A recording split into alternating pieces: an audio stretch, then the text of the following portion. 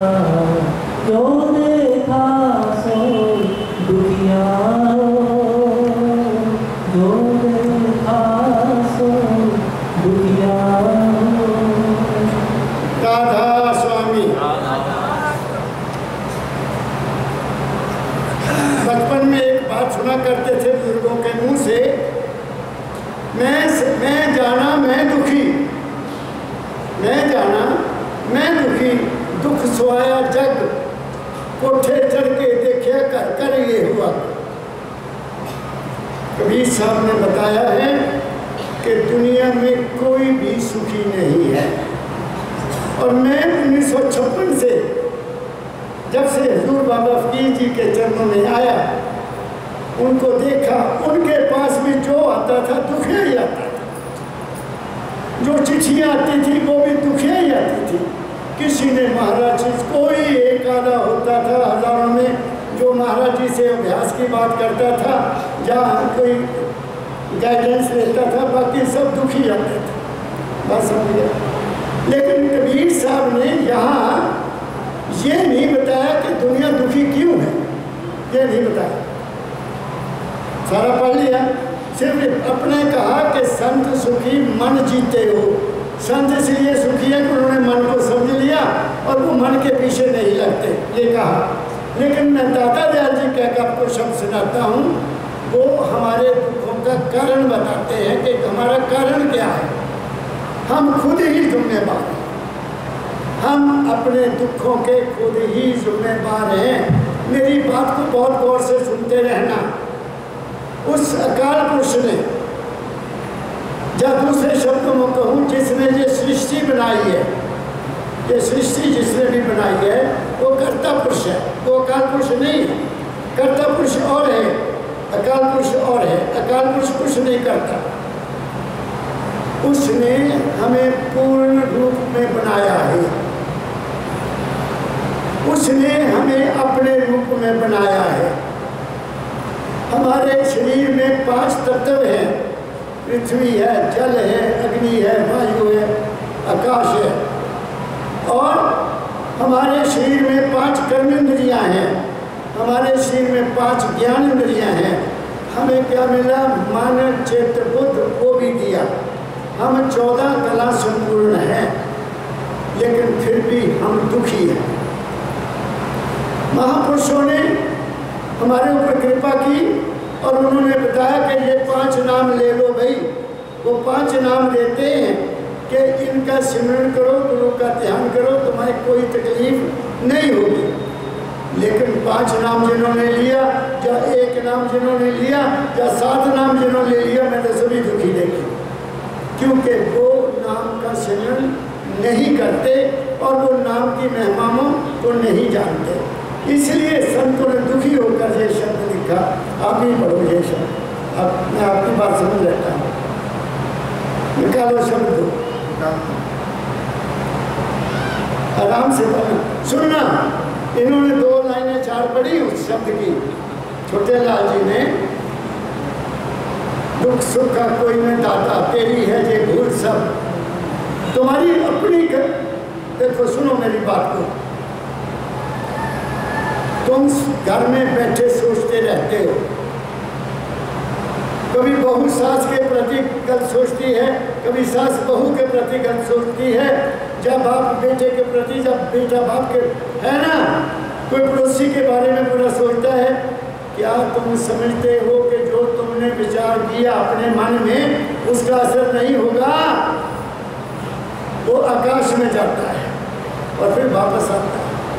बाबा फकीर जी महाराज ने हमें समझाया कि तुम्हारे मन में बहुत बड़ी ताकत है। अब तुम उस ताकत को ये समझो कि तुम रात को सो जाते हो। तुम रात को सो जाते हो। तुम रात को सपने में सब कुछ देखते हो। पूरी दुनिया देखते हो। खाते भी हो, पीते भी हो, हँसते भी हो, नाचते भी हो, सब कुछ करते हो। लेकिन तुम तो सोए हुए हो। तो कौन कर रहा है? तुम्हारा मन कर रहा है। अगर सोते सोते समय आपको नींद में, सुपने में तुम्हें अपने मन का कोई ज्ञान नहीं है और फिर भी तुम्हारे शरीर में तकलीफ़ भी होती है, कोई कुएँ में गिर जाता है, कोई चोट लग जाती तो उसको तकलीफ़ होती है कि नहीं होती? सुनने में भी तकलीफ़ होती है। तो जो हम घर में बैठे हुए बुरे बुरे ख्याल ले रहे हैं कभी किसी के खिलाफ, कभी किसी के खिलाफ, कभी अपने परिवार के प्रति तो क्या उसका असर नहीं होगा? ये कर्म है। ये ख्याल की फिलोसफी है। आप अपने मन की ताकत को नहीं जानते। आपके मन में बहुत बड़ी ताकत है, लेकिन तुमने उसको अपना ही दुश्मन बना लिया है, अपने ख्यालों से। तुमने अपने आप को ही उस मन से, मैंने इस मन के साथ खेला है। मैंने इस मन को समझा। तब जब बाबा फकीर ने मुझे आदेश दिया कि बेटे, तूने कोई किताब नहीं पढ़नी, तूने केवल अपने मन की किताब पढ़नी। जब मैंने मन की किताब पढ़ी तो मुझे पता लग गया वो मेरा जीवन तो मन पर ही आधारित है। ये सारी दुनिया मेरे अपने मन के अधीन है। मैं जो चाहूँ मन के से कर सकता हूँ, देख सकता हूँ, सुन सकता हूँ। ये सारा मन का खेल है। तो दादा दयाल जी ज़िम्मेदारी बताते हैं कि इंसान, तू किसी को दोष मत दे। तू अपने दुखों का आप जिम्मेदार है। परम जी महाराज को दादा दयाल जी ने लिखा। क्या लिखा? आदेश दिया, तू तो आया नरदेही में धर्म फकीर का भेषा, दुखी जीव को अंग लगा के ले जा गुरु के देशा तीन ताप से जीव दुखी है, निबल, अबल, अज्ञानी, तेरा काम दया का भाई नाम दान देता नहीं। हम तीन दुखों से दुखी हैं। अपने शिव की शक्ति को बर्बाद कर दिया, नाजायज बर्बाद कर दिया, ज़्यादा बच्चे पैदा कर लिए तो दुखी तो होंगे। पालन पोषण नहीं हो रहा, दुखी होंगे, शादियाँ नहीं होती, तू किसने किया? तुम्हारे अपने विषय भोग ने किया। तुम्हारा मन निर्बल तुम्हारा मन अबल हो जाएगा, तुम्हारा मन चंचल हो जाएगा। तुम कभी कहीं भागोगे, कभी कहीं दुख आया? चलो पंडित जी से पूछते क्या करे आ गया? वहाँ जाएँगे, वहाँ गिरा। तो अब दौड़े हुए हैं, जबकि सारा काम तुमने अपने मन को कमज़ोर करके किया और तुम्हारा मन तुम्हारा साथ नहीं दे रहा। और तीसरा, हमें अपना ज्ञान नहीं कि मैं कौन हूँ? मैं कौन हूँ? इसलिए बाबा फकीर जी महाराज के दरबार में बैठे हो, बात को समझो, किसी को दोष मत दो। कभी कहते हैं, भगवान ने हमारे साथ जुल्म कर दिया। कभी कहते हैं, किसी ने जुल्म कर दिया। कोई तुम्हारे साथ जुल्म करने वाला नहीं है। इंसान, तेरा मन ही तेरा मित्र है, तेरा मन ही तेरा दुश्मन है। तू इसको देख।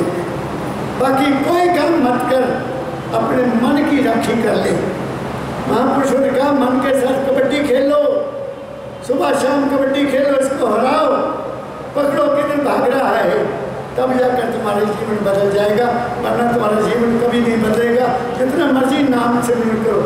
जो ज़्यादा विषयी आदमी है,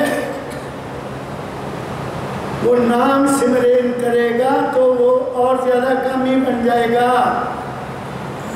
अगर उसके अंदर बहुत ज़्यादा कामना है, वो कामना अगर उसके अंदर ईर्ष्या ज़्यादा है तो ईर्ष्या बढ़ जाएगी अगर उसके अंदर लोभ है तो लोभ ज़्यादा बढ़ जाएगा नाम जपना है तो केवल इस ख्याल से जपो कि ऐ मालिक, मैं तेरे नाम की सिमरण कर रहा हूँ। मेरे अंदर से सारियाँ बुराइयाँ निकल जाए, वो निकल जाए। केवल इसलिए नाम का पहले सिमरण करो। मन का हुजरा साफ़ कर, जाना के आने के लिए ध्यान गैरों का हटा उसको पाने के लिए। पहले दुनिया की बातें छोड़ो, अपने आप से बात करो, तुम्हारा कल्याण हो जाएगा। अब दादा दया जी महाराज बता रहे हैं कि तुम्हारे दुख का कारण कौन है? ये किसी ने नहीं बताया, किसी संत ने नहीं बताया। गोल गोल बात कर दी कबीर साहब ने भी कह दिया कि सब दुनिया दुखी है। तो कबीर साहब बता दो को दुखिया क्यों है? क्यों दुखिया है? अब वकील ने बताया क्यों दुखिया है? और दादा दयाल कहते हैं वो सुनो। कोई दुख सुख का नहीं दाता तेरी है भूल सब।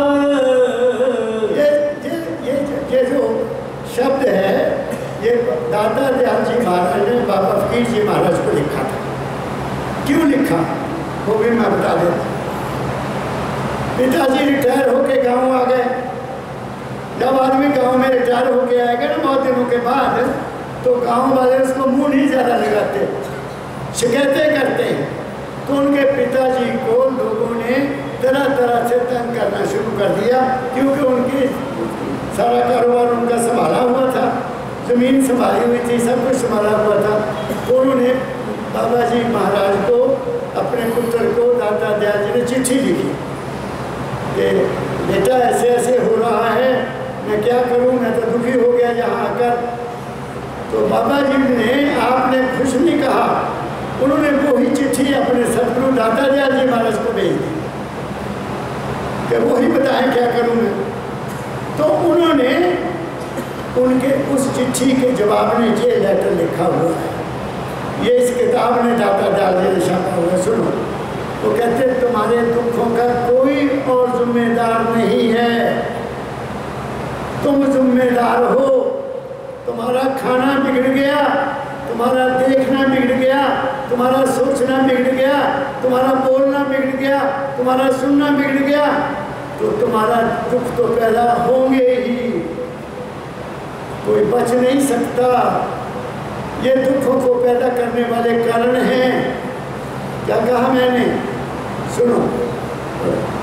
कोई दुख सुख का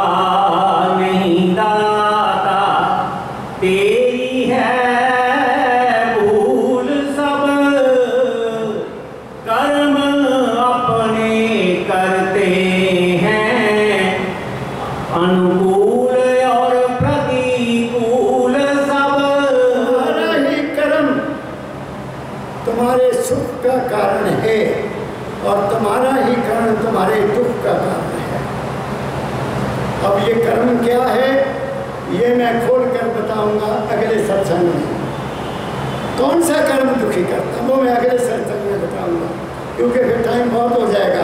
आठ बजे तक टाइम है। इसलिए तुम्हारा ये समझ लो। बाबा फकीर जी महाराज ने अपने अंतिम चिट्ठी में जो उन्होंने पिट स्वर्ग से उन्नीस में लिखी, अगस्त के महीने में, उन्होंने लिखा, "ऐ इंसान, बात को गौर से सुनना "ऐ इंसान तू राम नाम जप चाहे ना जप पहली शब्द वो वहाँ ये नहीं पूछा जाएगा कितनी माला फेरी, कितना नाम जपा। वो अलग गल है, वो मैं कल बताऊँगा। वो अलग जीवन है हमारा। वो कर्म से ऊपर है, वो कर्म में नहीं आता। वो अंदर की बात है, वो भी मैं खोलूँगा कल, बैसाखी के दिन।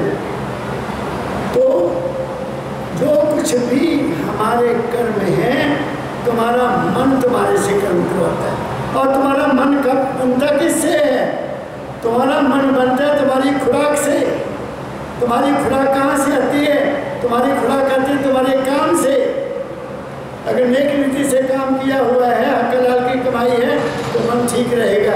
अगर चार सौ बीस से किया है, धोखा किया है, कम तोला है, दूध में पानी डाला है, और क्या क्या नहीं करते हम देखो दुनिया क्या क्या करती क्यों कैसे सुखी हो गए? कितने हॉस्पिटल खुल गए? नई नई बीमारियाँ निकल रही हैं। हमने बचपन में कभी सुना नहीं था कि कोई ब्लड प्रेशर भी होता है। कोई शुगर होती है। हमारे बुज़ुर्ग सौ सौ साल जिए। अब पच्चीस साल में, पचास साल में छुट्टी हो जाती है। कारण क्या है कि हमारी रहनी ठीक नहीं है?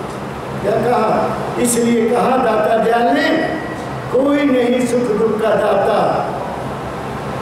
कर्म ही करते हैं, तुम्हें फ़ायदा देते हैं और कर्म ही तुम्हें दुख देते हैं। जैसा करोगे, वैसा भरोगे कर्म जो जो किया है, अंत में भोगना पड़ना वहाँ ये नहीं लिखा कि जितने नाम जपोगे, अंत में पार हो जाओगे। वो नाम और है। वो ये नाम नहीं है कि बैठ के राम राम कर लिया ऐसे ताड़ पे फेर ली ये नाम नहीं है। ये तुम्हारे मन को इकट्ठा करने के लिए है। आगे बढ़ो। कर्म की क्या नहीं तुझको समझ? कर्म से आनंद है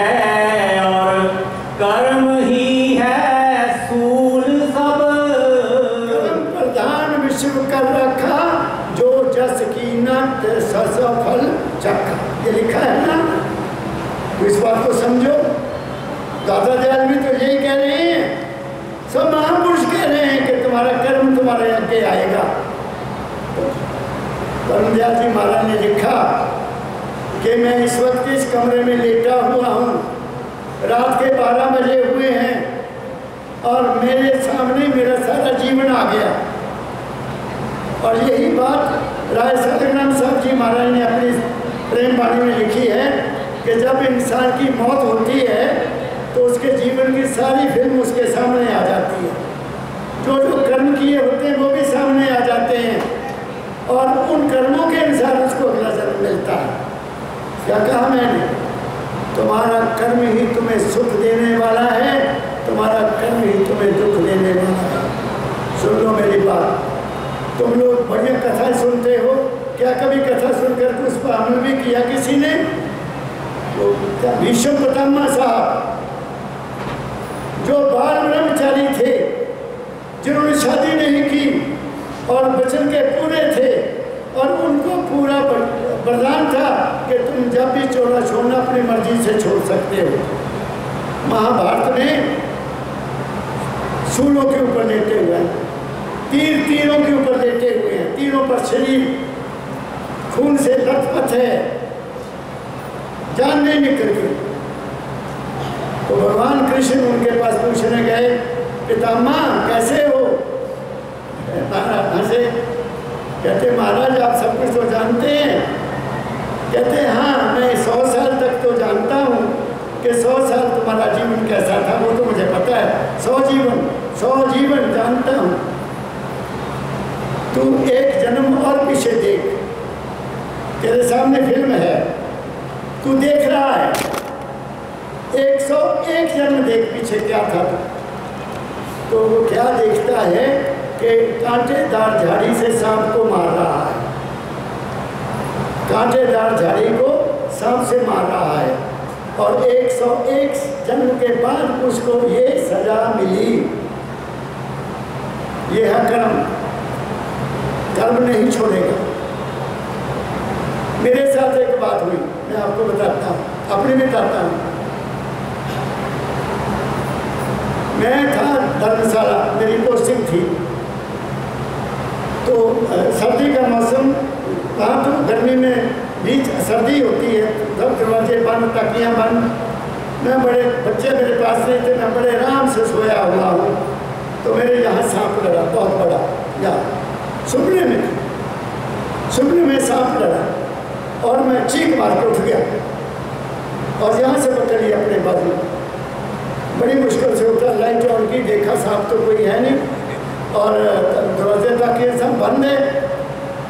बड़ी तकलीफ़, उस वक्त भी तकलीफ़, लगातार तकलीफ़ सुबह तक रही। हजूर मेरे पास परमदयाल जी महाराज गए धर्मशाला तो मैंने अपना हाथ सुनाया। तो उन्होंने मुझे फरमाया कि बेटा, सुन मेरी बात। तू मेरे पास आता है, मेरे से प्यार करता है, नाम भी सिमरन करता है। जो लोग, जो प्राणी थोड़ा बहुत नाम का सिमरन करते हैं, गुरु का ध्यान करते हैं और नेक नीति का जीवन व्यतीत करते हैं, उनके बुरे कर्म रात को सोए सोए सुपने में कट जाते हैं। तेरा कर्म कट गया। मेरी बात समझ गए और उन्होंने फरमाया, जो बुरे लोग हैं, वो दुख अपने सुपने में लेते हैं। उनके दुख सुपने में उनको मिलते हैं। और इस जीवन में भी मिलते हैं, जो नेक नेक नहीं है, उनका क्या हाल होता है? उनके बुरे कर्म स्वप्न में कट जाते हैं, जो गुरु की दया से चलते हैं। एक बार मैं आ गया हमीरपुर, ट्रांसफ़र होकर। महाराज जी का प्रोग्राम बन गया, मेरे पास आने का। तो मेरे मेरे साथ वाले मेरे साथ वाले मकान में जज साहब रहते थे। तो मैंने उनको कहा गोयल साहब मेरा फ़ोन आएगा। मैंने किसी जगह कह रही है मेरे घर तो टेलीफोन तब था नहीं। ये 1969 की बात है 1900 1979 की बात है, उन्नीस की। तो जब भी तुम्हें टेलीफोन आए तो मैं एक पेट्रोल पंप पर कह दिया था कि मेरे गुरु महाराज ने आना है, आपके पास रुकेंगे तो आपने एकदम मुझे टेलीफोन तो मैं रिसीव करूँगा बड़े शौक से रिसीव करूँगा। तो थोड़ी देर बाद साहब ने मुझे आवाज़ दी तो मैं जी दौड़ कर आओ। मैं कहा पापा जी टेलीफोन आ गया। टेलीफोन कहाँ था? उनकी रसोई के आगे बड़ा भारी सांप, ऐसे।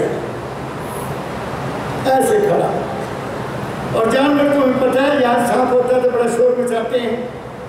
मैंने कहा, अब तो ये तो बड़ा चल कम खराब हो गया। तो मैंने उसके पास एक टॉवल फेंका, ऐसे। कहते, सांप अगर टॉवल को दांत मार दो, उसके दांत फंस जाते हैं, वो निकल नहीं सकता। उसने नहीं कुछ भी किया। फिर मैंने एक चद्दर फेंकी। फिर भी वो मेरी तरफ़ देख रहा है, ऐसे देख रहा है। मैंने फिर लठ अपने हाथ में ली तो मैं बाहर चला गया। मैं कहा तू बता, तू मेरे हाथ से मरने के लिए आया है? मैं सांप को, क्या तू अब मेरे हाथ से मरने के लिए है? तो चल। चल आगे। वो चल पड़ा। जैसे चला तो मैंने लगा दी टांग और मार दिया। खत्म हो गया। लो। अंदर आया वाइफ ने कहा, आपने बहुत बुरा किया। महाराज जी ने आ जाना था, आपने सांप मार दिया। ये तो ठीक नहीं हुआ। मैं क्या चलो, मेरा प्रश्न मैं बाबा जी से करूँगा। तो वो रात को आए, हजूर महाराज, मैं उस दिन तो बात नहीं की सेवा में लगे रहे। दूसरे दिन मैंने कहा, पिताजी, कल मेरे साथ ऐसा हुआ। बहुत अच्छा हुआ। मुझे कहते महाराज बहुत अच्छा हुआ बेटा। नहीं तो वो बच्चों को काटता, वो शत्रु बन के आया था। आपने एक इंसानियत के शत्रु को कल्याण कर दिया। दो बातें हो गई। दो बातें हो गई। मैंने शाम को पूछा बता तू मेरे से मरने के लिए आया है तो चल। उसने कहना, मान लिया, मैं समझ गया कि आया ही कल्याण करवाने के लिए मैंने मार दिया। मुझे मन पर कोई बोझ नहीं पड़ा। मेरे मन पर कोई बोझ नहीं पड़ा कि मैंने सांप मारा है और मुझे भी सांप मारना पड़ेगा। क्यों? मैंने हुक्म मान लिया। क्या कहा मैंने? नियत साफ़ नियत साफ़ नियत। मेरी नियत में उसको मारने की नहीं थी। लेकिन जब मैंने कहा कि तू आया है मरने के लिए तो चल। चल पड़ा, मैंने मार दिया, कल्याण कर दिया, चल, मैं छूट गई उसकी। मेरी बात समझ गए? कर्म में फ़र्क है। जहाँ नियत खराब है, वहाँ वो कर्म तुम्हारा बन जाएगा। जहाँ नियत तुम्हारी साफ़ है, तुम्हारा कर्म नहीं बनेगा। मैंने उसको शत्रु नहीं समझा। मैंने उसकी आज्ञा का पालन किया। उसको पूछा कि तूने मेरे से मरना है तो चल। वो चल पड़ा। वो मेरी तरफ़ आया ही नहीं। मैंने मार दिया। बात कम समझ गया मेरी बात को? फ़र्क कर्म का फ़र्क बताया आपको आगे ये जगत है बाटिका करते हैं प्राणी आके काम हाँ ये संसार क्या है दाता दयाल कहते हैं ये वाटिका है ये फूलों है, जहाँ आकर तुम अपना अपना कर्म होते हो। कर्म नाश नहीं होता। कैसे बोते हो? अपने ख्याल से। पहले तुम्हारे अंदर ख्याल पैदा होगा, तब तुम कर्म करोगे। कोई भी सुख कम देख लो। तुम जैसा बीज बोगे वैसा ही फल तुम्हें मिलेगा। कुदरत का असूल देख लो। कुदरत का एक ही खेत में मिर्च ला दो। आलू ला दो बैंगन ला दो गोभी ला दो और गन्ने के बीज बो दो हर हर जो बीज तुमने बोया है, वही पौधा बड़ा होके फल देगा। एक ही खेत में से, उसी खेत में से फल से फूल लगा दो। तरह तरह के फूल का गेंदे का लगा दो, चमेली का लगा दो गुलाब का लगा दो। गुलाब को, गुलाब का फूल खेलेगा, चमेली को चमेली का फूल खेलेगा, गेंदे को गेंदे का फूल खेलेगा। क्या मतलब इसका? तुम्हारा ख्याल जैसा है, वैसा ही पौधा बनेगा। वैसा ही पौधा बनकर तुम्हें सुख भी देगा और दुख भी देगा। इसलिए ये संसार है। इंसान, तू अपने ख्याल से अपनी ज़िंदगी को बना ले। इसलिए लिखा शिव संकल्प मस्तु इंसान, हमेशा अपने ख्याल नेक रख भले रख भलाई के रख, जो तेरा सबसे पहले तो अपने घर की भलाई करो। सारी दुनिया की भलाई तुम कहाँ कर सकते हो? एक सत्संग में मेरे सतगुरु ने फरमाया कि मैं सारी ज़िंदगी ये कहा, कह रहा था कि देश में एकता हो जाए, देश में भला हो जाए, लेकिन नहीं हुआ।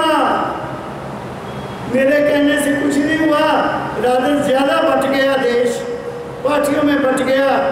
धर्मों में बट गया डेरों में बट गया, कुछ नहीं हुआ। मैं तो चाहता था कि ये हो जाए। मेरे पास उनकी लिखत है। मैं क्या कह रहा हूँ आपको? पहले अपने घर को स्वर्ग बना लो। अब जो भी आते देखा थी सुबह से बैठा था, क्या सुना? दुखी सुने ना सब आपके? और क्या सुना? खुशी की बातें को सुनी नहीं। कोई रोता हुआ आया, कोई किसी तरह से आया क्यों आए? क्या कारण है? हमारा कर्म है। कर्म प्रधान है। नाम का प्रधान तो और अलग बात है। वो कल साफ़ करूँगा कि नाम कैसे जपना है और किस लिए जपना है। वो नाम है क्या? बात समझ रहे पहले जीना तो सीख लो। पहले इंसान तो बन लो। पहले घरों में अपना प्रेम तो पैदा कर लो। अरे जिस घर में प्रेम नहीं है, वहाँ नाम कौन जप सकता है? जिसको खाने को रोटी नहीं, वो नाम नहीं जप सकता। जिसके घर में झगड़ा है, बीवी बीवी कहना नहीं मानती, बच्चे कह तुम कहाँ नाम जप सकते हो? नहीं जप सकते। शरीर ठीक नहीं है, तुम नाम नहीं जप सकते। क्या कहा मैंने? कब चले हुए नाम नाम नाम नाम नाम। नाम कोई गाजर मूली नहीं है।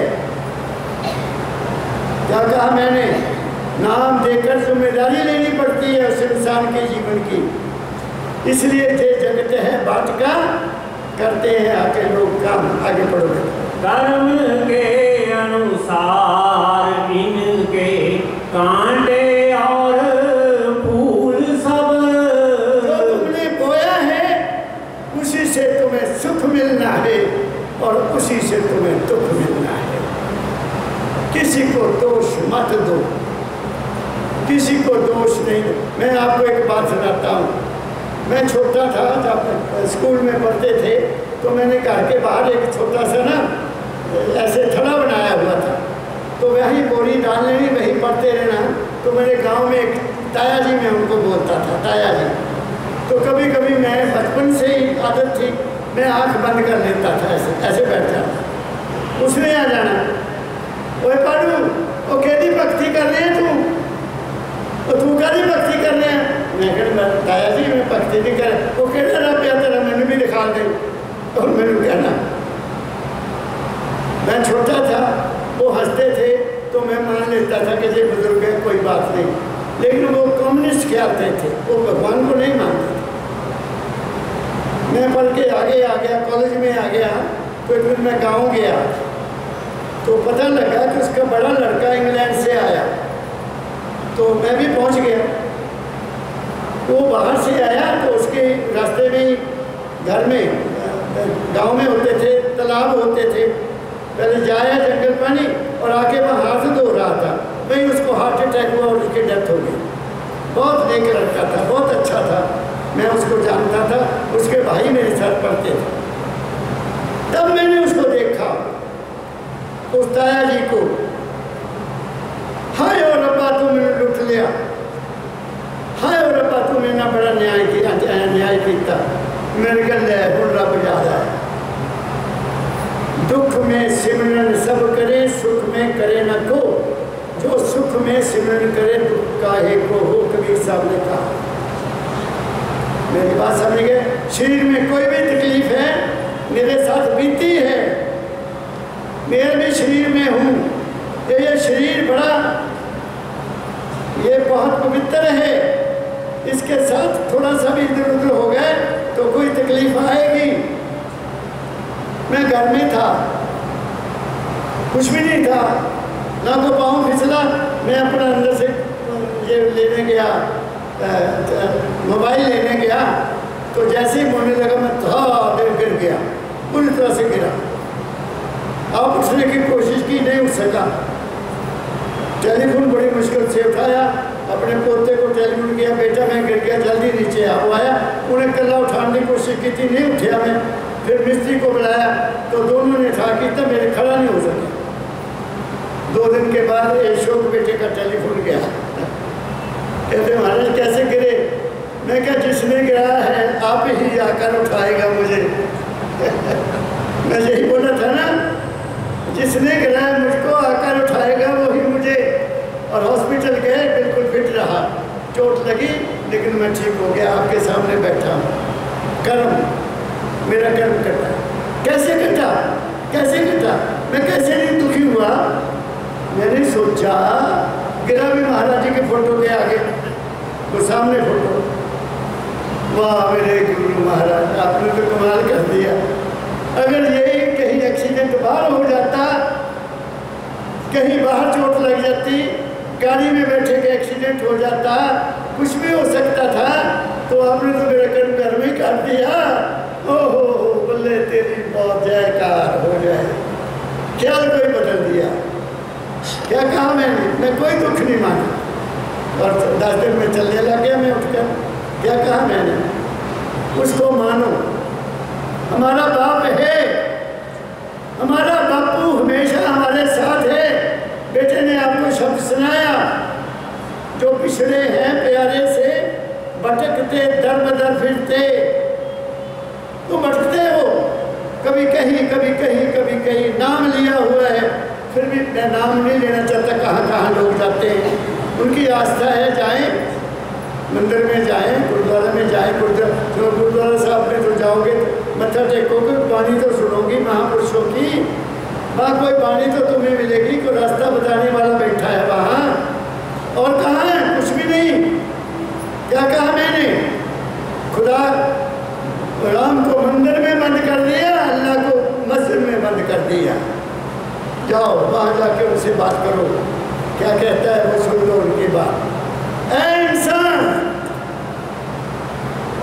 मेरी बात को गौर से सुनना।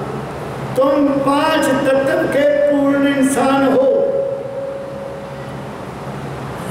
तुम्हारे में पाँच तत्व पूरे हैं तुम एक मिट्टी की मूर्ति के आगे क्यों सिर झुकाते हो तुम महान हो उसको तो आदमी ने बनाया तुम्हें मेरे मालिक ने बनाया जिसको मालिक ने बनाया वो बड़ा हुआ का जिसको आदमी ने बनाया वो बड़ा हुआ कहाँ से ढूंढते फिरते हो उसको तुम मैं बहुत ऊँची बात कर दी है बात को समझो, बड़े दर्द से बात कर रहा हूँ। तुम पूर्ण होकर मिट्टी के आगे सिर झुका रहे हो। तुम उसको क्यों नहीं याद करते? वो तुम्हारी सुनेगा, वो मूर्ति नहीं सुनेगी, वो सुनता है। करके देख लो, लेकिन सच्चे दिल से करके देखो, तुम्हारी बात हो जाएगी। ये तजुर्बा बता रहा हूँ, ये बाबा फकीर जी की स्टेज है ये गप्पे मारने वाली नहीं है ये सत्य सत्य का स्थान है, सत्य का स्थान। इसलिए दर्द दिल से कह रहा हूँ ए इंसान, तू मत भटक तेरा मार्ग तेरे अपने घट में है। उन्होंने लिख दिया, हमारा यार है हम में नमन को इंतज़ार नहीं किया। कल मैं बताऊँगा कि वो तुम्हारे अंदर कैसे है। अब मैं सत्संग लंबा नहीं करना, क्योंकि आठ बजे बंद करना है। कल खुलूँगा पूरा। आ गया जो ठगेगा बैठगा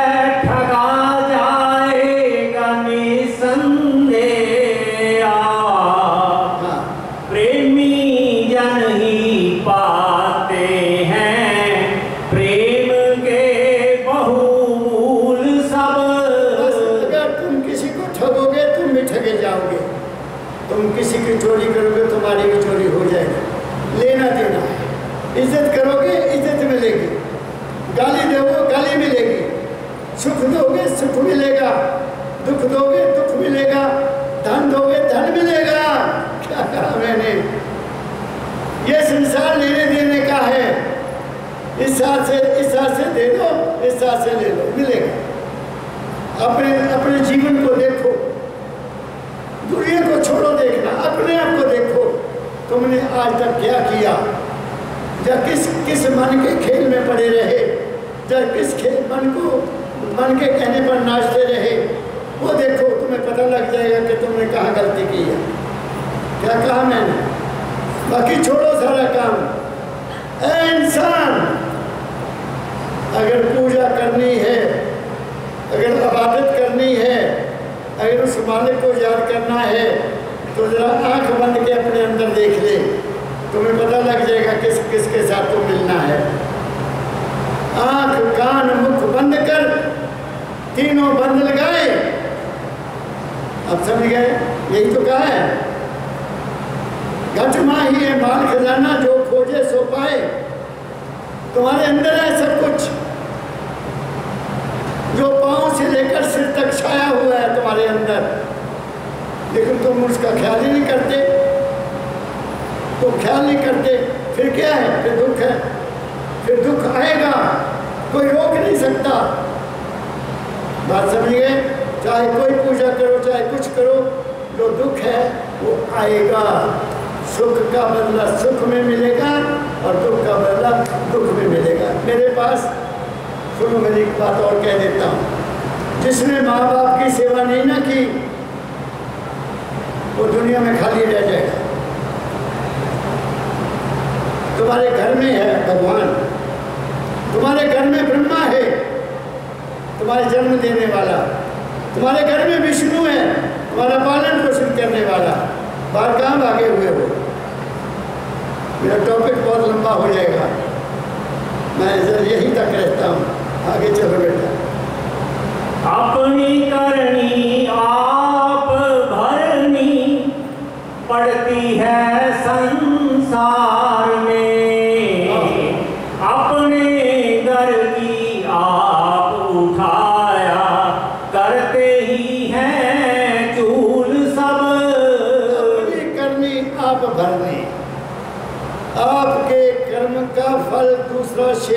कर सकता।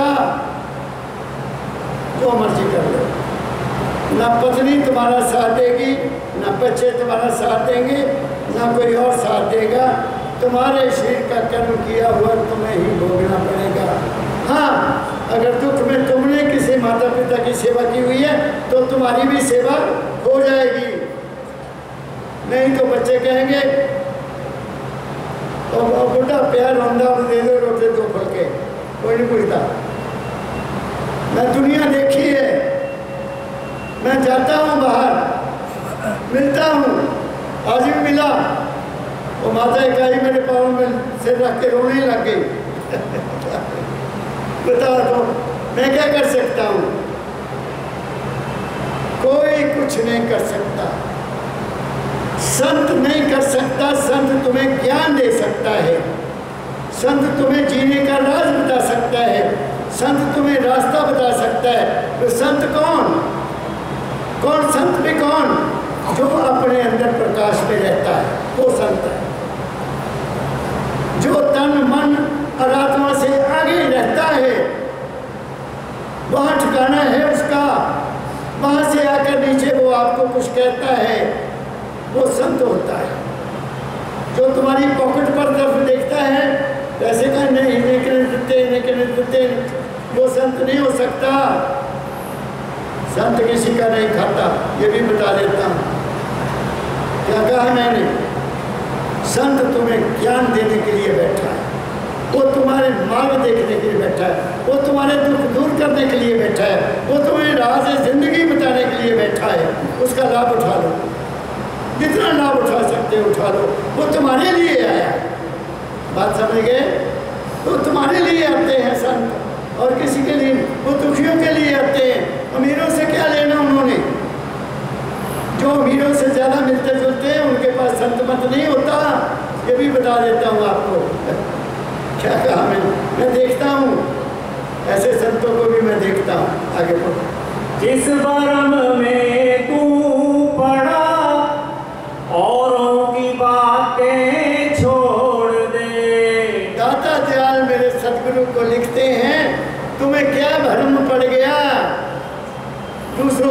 छोड़। पापा ने कुछ किया तो उसको अपना कर्म भोगने दे। मेरे सदगुरु की एक बात सुनाता हूँ आपको। इतने सत्यवादी थे। एक बार वो अपने पिताजी को मिलने गए। तो उसने कहा, फकीर, आजा रोटी खा ला। कहते, मैं झूठ बोला, मैं खा के आया। अपनी जान बचानी सी ना। मैं खा के आया, पापा, मैं रोटी नहीं खानी। गलबात की मिल के चले गए। तो उतों निकल के, दूर जाके एक ढाबे से रोटी खान लग गए। होटल से रोटी खा रहे हैं, कोई उनके पिता को जानने वाला वहाँ आ गया। तो उसने पूछा काका, तू रोटी इतने क्यों खा रहे हैं? पापा को क्यों नहीं खाती? कहते, नहीं, मैं उस वे भुख नहीं सी इदा की कोई गल कर देती। बात आई चली गई, खाना खा लिया। वो आदमी ने जाकर उनके पिता को बताया कि फकीर ढाबे पर रोटी खाता था जहाँ आपको मिलकर गया। क्या कारण है? पिता को पता लग गया। जब दोबारा गए, मेरे दादा ने पूछा, पहला दस फकीर तू मेरे घर रोटी क्यों नहीं खाती? तू ढाबे से क्यों खाती? सच्ची गल कहते पिताजी बात ये है, मैं आपके घर की रोटी नहीं खा सकता था। क्यों? आप करते हैं रेलवे पुलिस कंस्टेबल थे रेलवे के सिपाही थे, आपको वहाँ हिस्सा मिलता है, रिश्वत मिलती है तो आपकी रिश्वत का खाना मैं नहीं खा सकता था। पिता को भी बता दिया।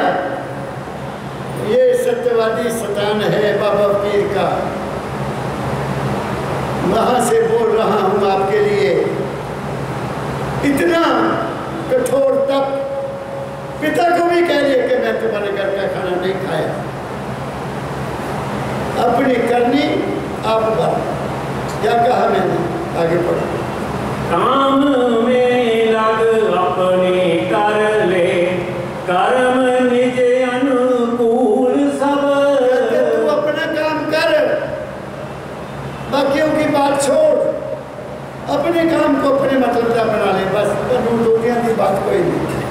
बात समझ गए? जब से हजूर महाराज ने सत्संग में ये बात सुनाई, बहुत देर की बात है। मैंने अखबार पढ़ना बंद कर दिया।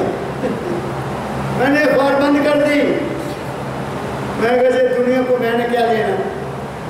अखबार में कोई गल है चंगी? टीवी बंद कर दिया देखना। वो भी बंद कर दिया। टीवी में भी रोना, अखबारों में भी रोना। वहाँ इतने मर गए, वहाँ इतने मार दिए गए, वहाँ एक्सीडेंट हो गया। ये हो, क्या है? बंद कर दिया सब कुछ। अपने काम में लग गए। अपना काम क्या है? Know thy self by thy self अपना आप आप पहचानो, कहा किसी का नेक न मानो। तुमने अपने आप को देखना है। गुरु से आगे ले लो, रास्ता ले लो और आगे चलो, फिर वो तुम्हारा ख्याल खुद करेगा। तुम उसके हो जाओ। इसलिए गुरबाणी में कहा, ये तू मेरा हो रहे, सब जग तेरा हो तू उधर तो होता ही नहीं, उसके हो जाओ। वो है, कैसे है, वो कल बता दूँगा, आगे चलो। राधा स्वामी नाम भज, झगड़ों से बच कर रह सदा जो नहीं समझा तो पढ़ना लिखना होगा धूल सब कहते अपने काम में लग जा अगर राधा स्वामी नाम छुट जा राधा स्वामी नाम के साथ और बाकी दुनिया भूल जाए अगर तू ये नहीं करेगा तो पढ़ना लिखना सब धूल है क्या पहला पढ़ने का ये अपने आप को नहीं पढ़िया सारा जग पढ़ लिया सब कुछ पढ़ लिया अपने आप को नहीं पढ़िया अपने मन को नहीं पढ़िया तो की पढ़िया ओ वाह मेरे सदगुरु परम पिता मेरे बाबा के जी, आपके दरबार में शाम के समय इस वक्त बैसाखी का पहला सत्संग ये संगत जितनी आई है। मैं सच्चे दिल से चाहता हूँ, इन पर कृपा कर देना। इनकी मनोकामना पूरी हो जाए, इनके दुख दूर हो जाए, इनके मन को शांति मिले, इनके घरों में शांति पैदा हो, एकता पैदा हो, प्यार पैदा हो, आप सब सुखी रहो। इसी के साथ आज का सत्संग मैं समापन करता हूँ। आप सबको बहुत बहुत प्यार भरा राधा स्वामी राधा स्वामी राधा स्वामी। कल सुबह नौ बजे